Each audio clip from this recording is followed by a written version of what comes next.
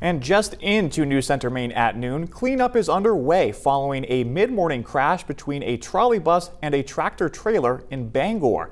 This is the scene right on Main Street just about an hour and a half ago. Police tell us the collision happened on Main Street and then the bus hit parked cars in the lot between the Bangor area homeless shelter and the city's central fire station.